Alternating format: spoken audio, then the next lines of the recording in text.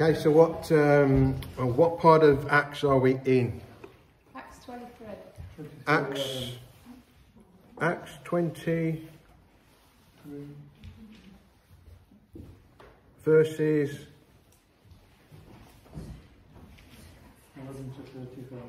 11 to 35. So we're going to cover, see if you guys can see this up here. A little bit of extra information. We're going to cover a, a big chunk of text. We may not get through it all tonight. We may do, but we'll see. Uh, we can basically split it up into, into lots of different units. But as we we keep discovering, as we go through the book of Acts, when Luke writes, sometimes he writes about met something that happens over a long period of time and he writes it in a few verses. Then he writes about something that happens in a short period of time and he uses a couple of chapters. So that, and in this case, this is sort of an average uh, between the two. Where where did we see Paul last time, March? Round. No. Where was he? It's in the call He was in the court. That's right. He was. for the council. He was with Claudius Li, uh, Lysias, the, the tribune. He was uh, tied to the post. He was left there overnight. They were going to whip him. Then they discovered he was a Roman citizen, so they couldn't do that. Uh, now uh, he, he was before the Sanhedrin, uh, and they that didn't go down very well. So now he's going to send him to somebody else to be to, to be to be seen to. But we'll start at chapter twenty three um, verse 11 because that we finished on verse 11 last time but that's really the the, the, the, key passage in this whole uh, chapter. He says there the following night the lord stood by him and said to paul still there, there in prison the lord stood by him and said take courage for as you have testified to the facts about me in jerusalem so you must also testify in rome Marge. In Rome, that's where he's going, okay? You'll get there, you'll get the answer right. No, that clock that's going to be right twice a, twice a day. Yeah, he's going to be he's going to be in Rome. Now, the interesting thing there, a lot of people say uh, think that's uh, uh, what, what we called last time a theophany, but the actual word there for Lord, for Lord take uh, the following night. The Lord stood by him. The Greek word is, is Kyrios, which means Lord, and it's talking about Jesus Christ. It's one of the Yeah. two instances that that word is used referring to Jesus Christ. So we actually have a Christophany Mm. where Christ appeared to reassure Paul that as you have testified the facts about me here in Jerusalem, and we saw how he went full circle, leaving Jerusalem and coming back. He says, now you must, you must testify of me uh, also in Rome. So Paul's pretty sure now if Jesus has told him he's got to go to Rome, where's he going to end up? In Rome. in Rome. That's right. Despite what people want, what want to do to him. So we car- we carry on reading that. It says in verse twelve, when it was day, the Jews made a plot and bound themselves by an oath, neither to eat nor drink till they had killed Paul. That's that's quite shocking. We'll carry on reading. There were more than forty who made this conspiracy. Forty, and they went to the chief priests and elders and said, We have strictly bound ourselves by an oath to taste no food till we have killed Paul. Now, notice they went to the council. Hmm. Okay, that's a key point there. Now, therefore, you, along with the council, give notice to the tribune to bring him down to you as though you were going to determine this case more exactly. And we are ready to kill him before he comes near. Now, that's at one, one section. Okay. Hmm. Now, the son of Paul's sister his nephew, heard of their ambush. So he went and entered the barracks and told Paul.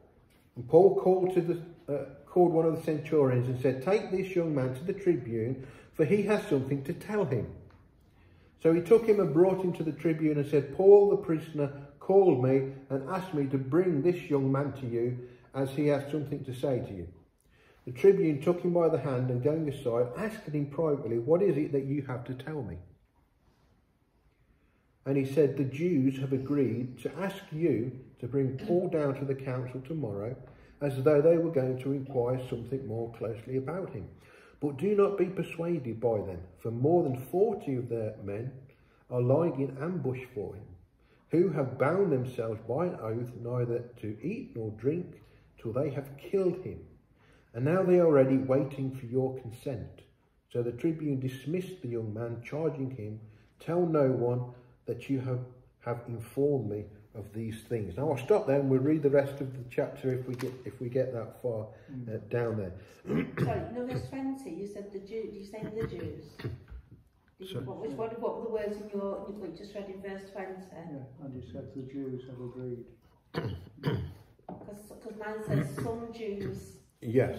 Well, we, we're getting there, yeah. You know, you see, say the Jews, like, you know. I'm But this is the thing that um, I mentioned last time and before. We get the idea that when the Bible says the Jews, Yeah. we think that all the Jews were bad. Yeah, Same with the. Pharisees, that all the Pharisees were bad. Well, that's well, and we've seen that's not actually the case. Yeah. And the same thing is happening here. But there's a little twist in the story that we don't we don't see unless we unless we study what these scriptures say, which helps to understand why this is happening.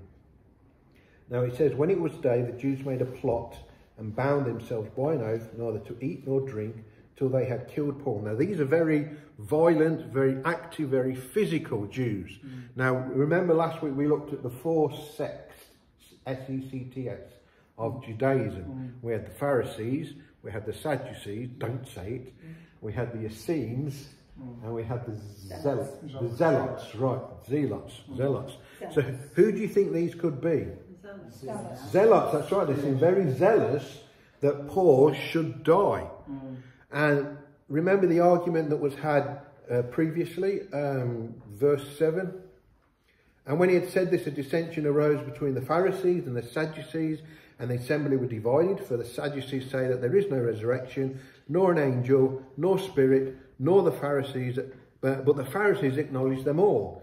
Then a great clamour arose, and some of the scribes of the Pharisees' party stood up and contended sharply, We find nothing wrong with this man.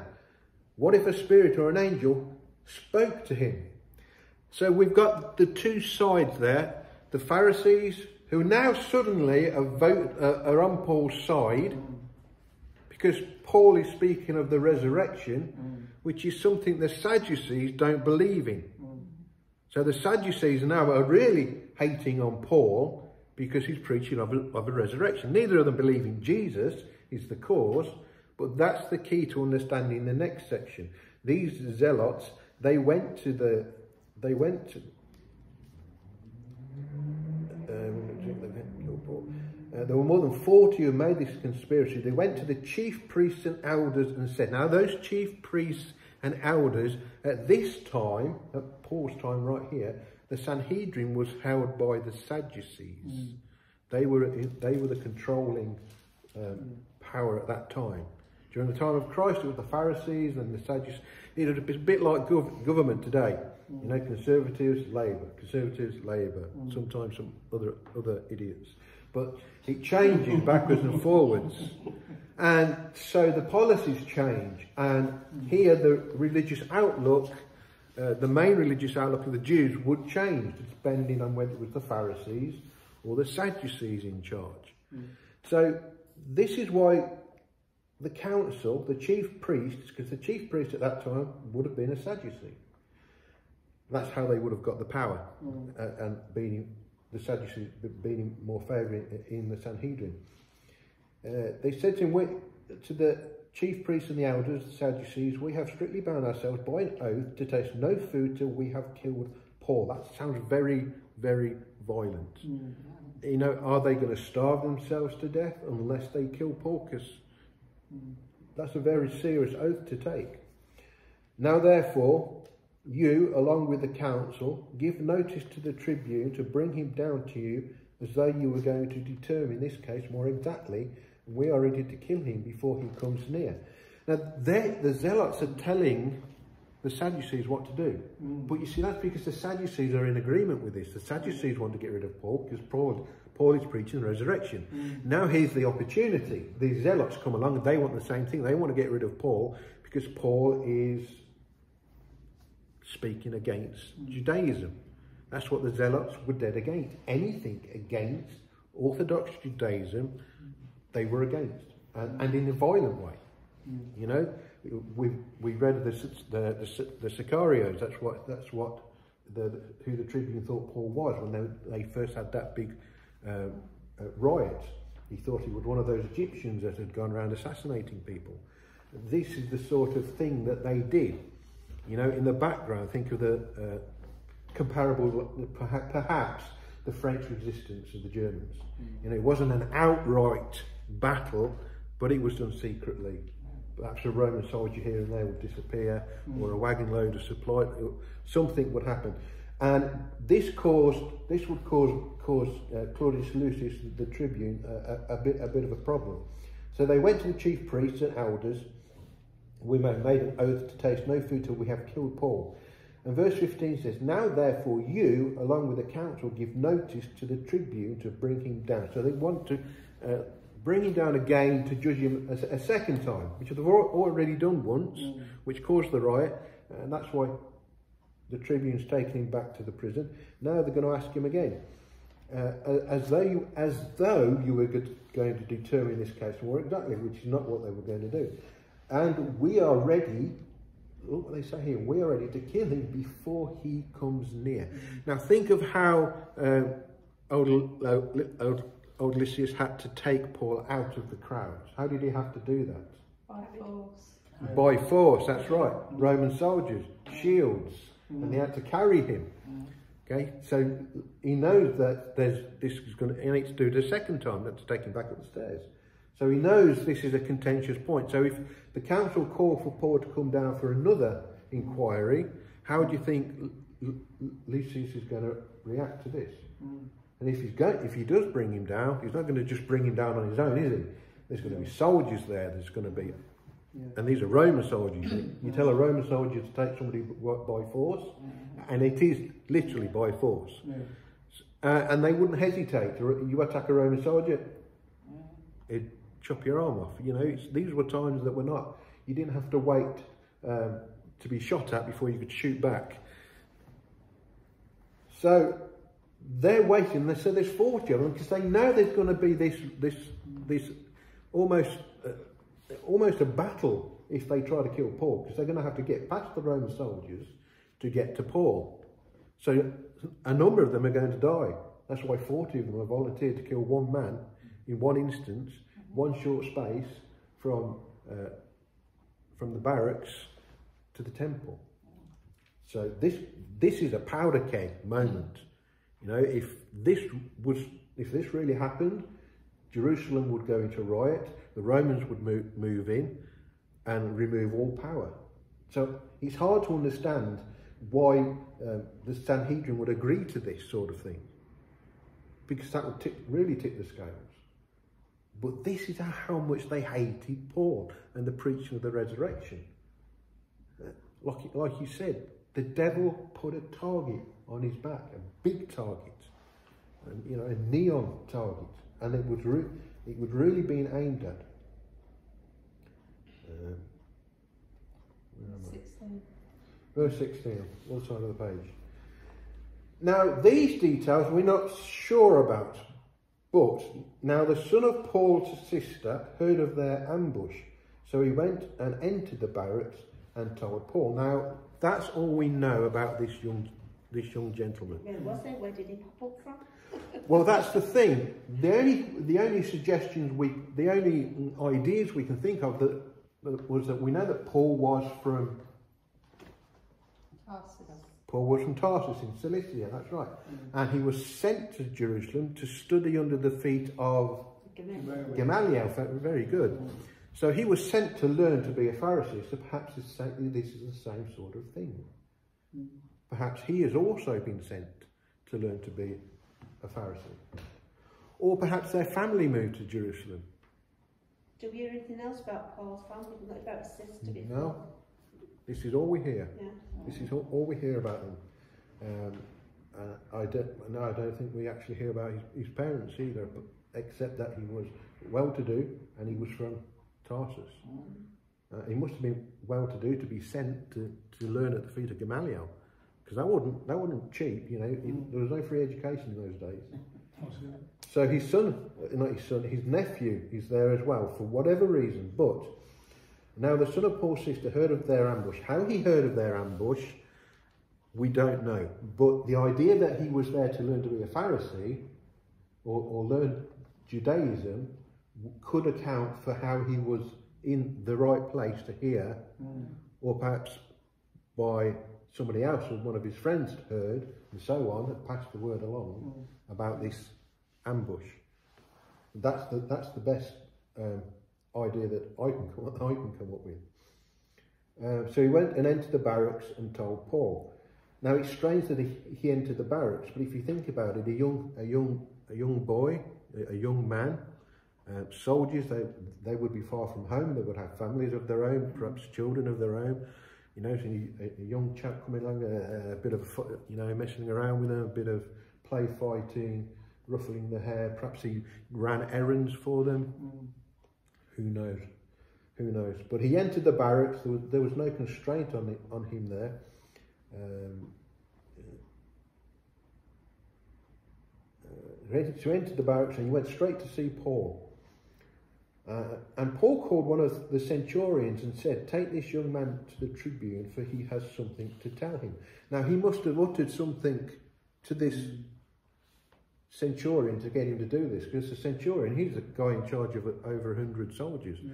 No, that was a position of authority.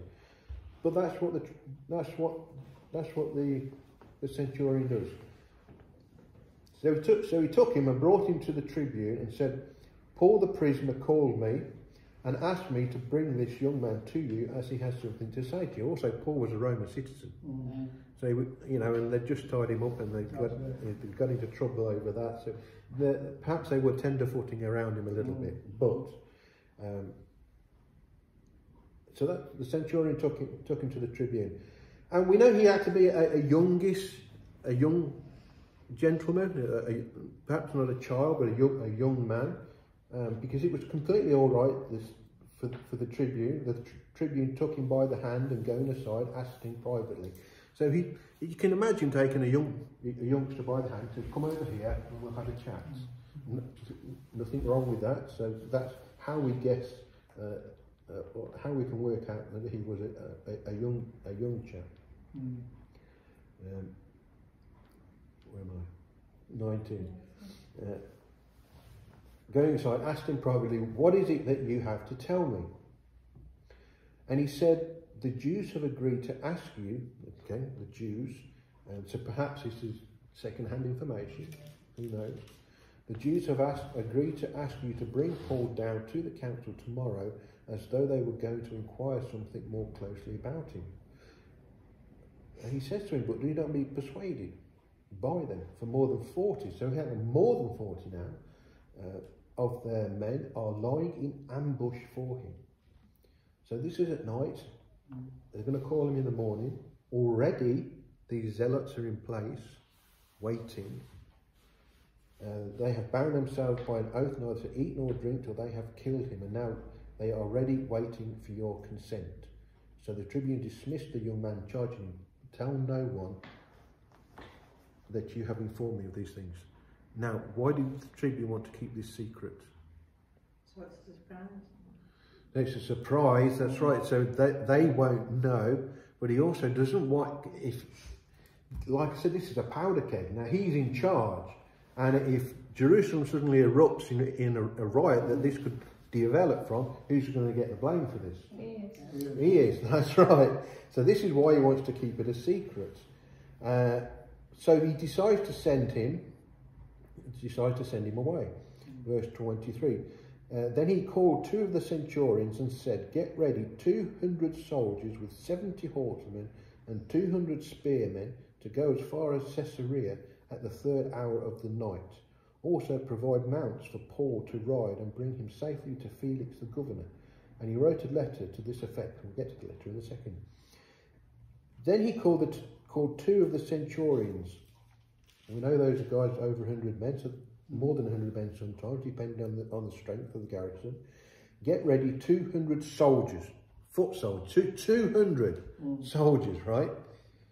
With 70 horsemen. So that's 70, uh, what they would what they would call, um, I can't remember the, the Roman name for it. Jane might know it. Uh, they were, they're auxiliaries, but there's, there's another word for it. Mm. But 70 horsemen. Okay, these, these were what we would call cavalry today. Mm. And 200 spearmen. Now, there's some dissension about that, the 200 spearmen part, because Romans didn't have spearmen. They had, they had pylons, pilums, which were their spears, but they didn't actually have spearmen as as we imagine as Englishmen. So there's uh, some debate exact to exactly what that is. But another two, uh, uh, uh, 70 horsemen, another 200 spearmen. Uh, so that's 400, 400 soldiers and 70 horsemen. So that's four centuries of soldiers. So there's four centurions, and there would would have been a centurion in charge. Centurion in, in charge of the horsemen as well, at, at the most. Uh, and then he said, also provide mounts for Paul to ride and bring him safely to Felix, the governor. Mounts, you need one to ride, perhaps he needs one for his supplies, uh, provisions, perhaps you need a, a change of horses, travelling distances like that, they would need a change of horses. I've got my, do I need to make you two sit apart? It's there, it's not there. Yeah, right. Not me, sir. Also provide mounts for Paul to ride and bring him safely to Felix the governor. Felix the governor. Now we have, uh, we've got his name on it here, Antonius Felix. He was a procurator, okay, of, procurators were, were, were, were like, like um, just above the tribune. So the tribune would be in charge of a city or a, or a small area or a, or a village area. Then you would have a procurator who would be in charge of what, what we would call a county, Yeah. uh, uh, a province. So we have Antonius Felix, who was uh, a procurator AD 53 to 60, uh, and later on we'll see Porcius Festus, old Festus, uh, AD 58 to 62. Okay, again, different areas, so the dates the, the dates are, are, are different. Pontius Pilate, we know, was the one that, that dealt with Christ, AD 26 36. Mm. The reason I mention these three is because these are the only three mentioned in Scripture. These were all the ones who had, Christians had something to do, who were mentioned Mm. as part of, uh, as part of the, the, the narrative. So these are names to remember because he's going to come and he's going to go and see uh, Fest, Festy Festus in a bit. But the interesting thing is, and I find it quite uh, quite not funny but entertaining, is this letter that that uh, Claudius Lysias wrote. Um, and he wrote a letter to this effect. Now, I don't know how Luke got these words apart from the Holy Spirit gave them to him, uh, or perhaps Paul got to read the letter, or, or he heard the letter being read. I don't know. But this is what it, this is what it, what it contained. Um, uh, regular Roman greeting, uh, opposite to the Jews. The Jews would announce themselves at the end. The Romans at the start. He wrote a letter to this to this effect: Claudius Lysias, to His Excellency the Governor Felix, grovel grovel, greetings. This man, and I want you to I want you to see the the, the, the half truths throughout this. This man was seized by the Jews, true, and was about to be killed by them, true, when I came upon them with the soldiers and rescued him. Also, sort of true. Having learned that he was a Roman citizen. Not true. Almost true. He did learn that he was a Roman citizen, but not when he went to rescue him. That's right. He's completely glossed over any mention of him actually tying him up and Yeah. commanding him to be flogged. Mm. Who's going to argue with him? exactly. Uh, having learned that he was a Roman citizen, picking himself up, and desiring to know the charge for which they were accusing him, he already thought he was one of the assassins. I brought him down to the council. It was Paul that actually asked to speak to the council. Mm. I found that he was being accused about questions of their law, but charged with nothing deserving death or imprisonment. Now that's an in, very interesting point. Okay, at each time it was in each one of these being accused by um, what was it, uh, a question about their law. Mm. But I find no fault in him. What did Pontius Pilate say about Jesus? I. This is what That's Felix is saying. I was thinking about when Paul was put passed from pillar to post. Yeah, It's like, and then Pilate says, I don't want anything to do with this. I man." find no fault with him. Mm. Yeah, Felix says, uh, sorry, um, Claudius Lysias said, I find no fault with him. We'll find out what Felix is going to say, which is exactly the same, and Festus towards the end. All of these said, the Romans, the Gentiles, we find no fault with him. But the Jews, they were so mad at him that they were willing to, 40 men were willing to sacrifice their lives to kill him and cause that powder keg to erupt in Jerusalem. Uh, um, 29. 29. I found, thank you, darling. I found that he was being accused about questions of their law, but charged with nothing deserving death or imprisonment. And when it was disclosed to me that there would be a plot against the man, again, I, I discovered there was a plot against him, I sent him to you at once, ordering his accusers also to state before you what they have against him. So that was the letter that he wrote. Now, when somebody caused a problem or they had to go before the courts, they could, uh, in, in Jerusalem and according to, well, in Israel at that time and anywhere else, according to Roman law, you could be tried in the district that you were accused of. So if you like murdered somebody uh, in Perea, you could be tried in Perea, even if you came from Galilee. Or you could be tried and sent to Galilee to be tried. A little bit like it, it is today. If one of us goes to France and commits a crime, we could be tried in France if we have a group, they have agreements with the British government, Mm. or we could be extradited Mm. and sent back to be tried in our own country. Mm. This is the same sort of thing going on. So this, Lysias wants to get him off his hands, Yeah. get him out of get him out of Jerusalem, and stop what could potentially be a disaster to his career. Because that's why this letter is such a crawly letter, such a makes your skin itch. You know, he's he's, he's really been creepy.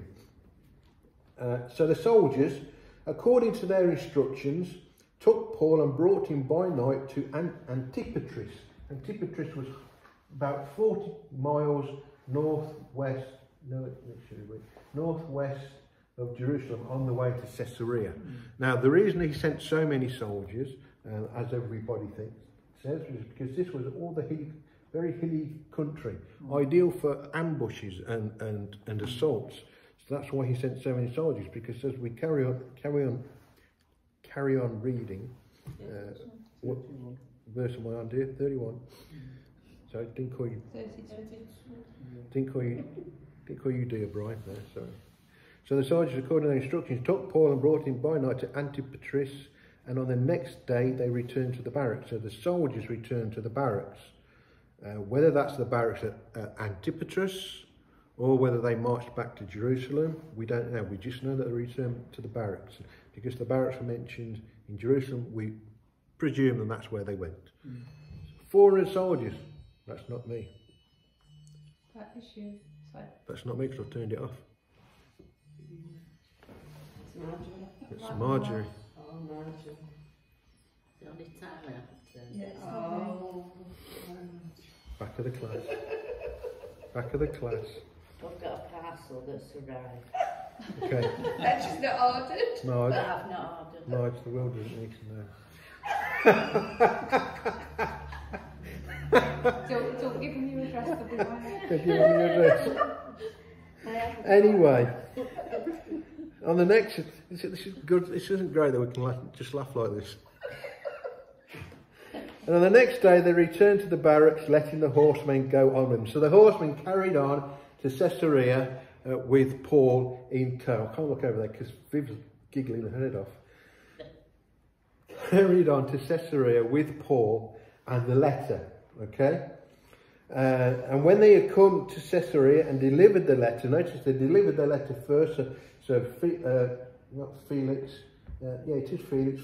Felix read the letter first, uh, delivered the letter to the governor. They presented Paul also before him.